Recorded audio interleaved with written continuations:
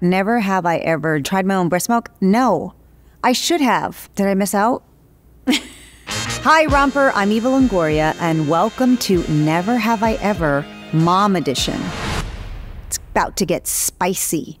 Never have I ever bribed my child to behave in public. Yes, I have all the time. Here, here's the lollipop. Get on the plane. Here's the iPad. Just be quiet. Mostly, it's in places for like other people's sake. So you're welcome, flight passengers that I have flown with.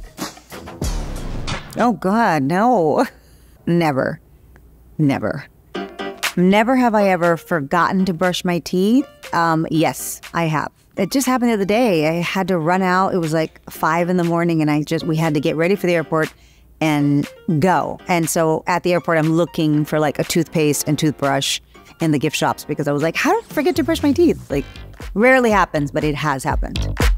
Never have I ever fed my kid hot Cheetos. I have never. I, on the other hand, grew up with flaming hot Cheetos. The first time I ate regular Cheetos, I thought something was wrong with the bag. I thought they were all just hot. Definitely different times, but um, yeah, he's not interested right now. Always, never have I ever not used them to get out of plans. they actually get sick a lot and they're like mucusy all the time and coffee all the time, so they're a really good excuse to get out of things. First of all, when you have a kid, you don't have time to daydream anyway. I don't remember life before Santi.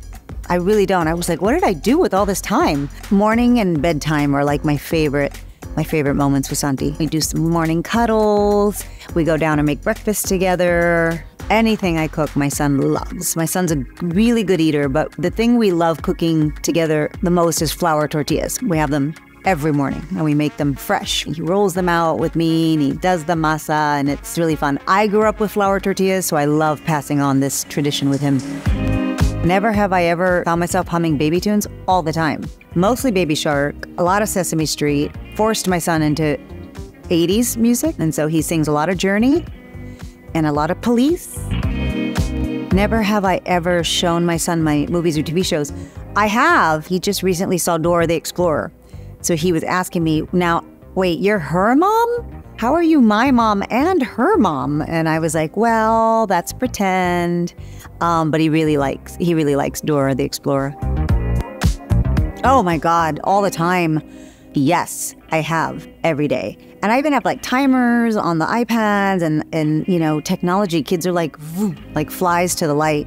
They just want it. Usually when we're on vacation, we don't even take the screens with us and then he forgets about it for months and then somehow it creeps back in.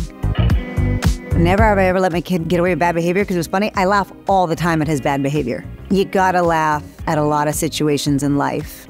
There's opportunities to discipline and consequences, but most of the time it's funny.